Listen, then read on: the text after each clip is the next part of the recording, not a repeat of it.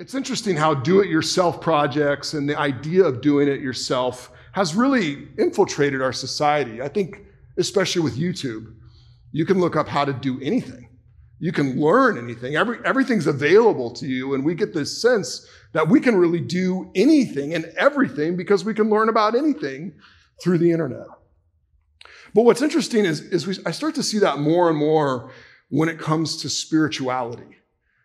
People tend to think of spirituality and their spiritual beliefs as like a do it yourself project. Like, I want to figure out my own spiritual beliefs on my time, on my terms. I want ownership of it. I want control of it. I want customization of it. And I think there's a sense where our society believes do it yourself spirituality is true because it's the way to be most authentic to who you are. It's the most, it's the way to be most authentic to who you are. But what we haven't really wrestled with is how much of our consumer culture affects our approach to spirituality. How much of what we actually think we know about ourselves is influenced by what we see online.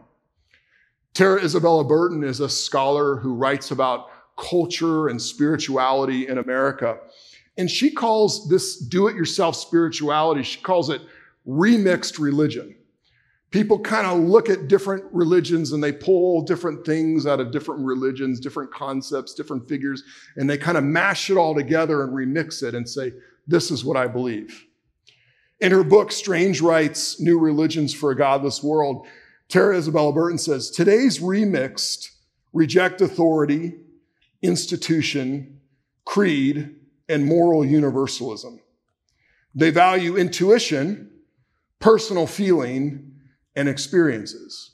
In other words, people think about spirituality as what comes from me, not what you tell me.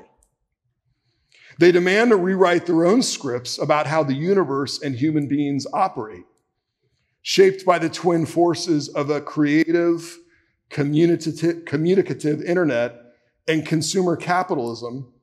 Today's remix don't want to receive doctrine, to assent automatically to a creed, they want to choose, they want to do it themselves. And more often than not, purchase the spiritual path that feels more authentic, more meaningful to them. Now, some of you hear, hear that and they go, yeah, that's exactly right. That's how our culture thinks about spirituality. That's even how most Christians think about spirituality. I like to go through the scriptures and find the things that seem to suit me rather than being told what should I should adjust for. That's the, that's the air of our culture.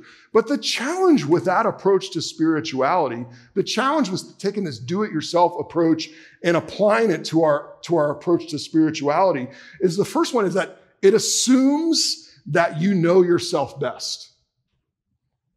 It assumes that you know yourself best. And because you assume you know yourself best, you assume you know what's best for you. And then thirdly, because you assume you know what's, you know yourself best, you know what's best for you, you assume that you're the best one to take care of yourself. But here's the problem. As we explore spirituality, one of the things I've found is my biggest problem is myself.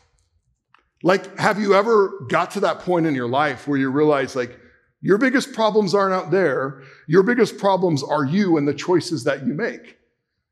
And do it yourself spirituality doesn't take into account the fact that we might not know ourselves best, that we might not actually know what's best for ourselves, and that we actually might not be the person with our best interests in mind. We often have an idealized version of ourselves. We rewrite the story when we make big mistakes so that we're not at fault. We never really think about how our desires actually lead us into dark places. And we're never really aware of what we don't know. Right now, none of us knows what we don't know. And so when we go, I'm going to do spirituality myself, we enter in thinking we're empowered, but we're really heading towards messing this spirituality project up. Because if we mess it up, there's no one to blame but us. I find it comforting that Jesus steps on the scene and says, that's not how things work.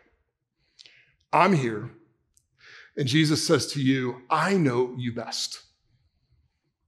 I know what's best for you, and I'm the best one to care for you. And that's really the basis of Christian spirituality. I'm not best for me. Jesus is best for me. I don't know myself best.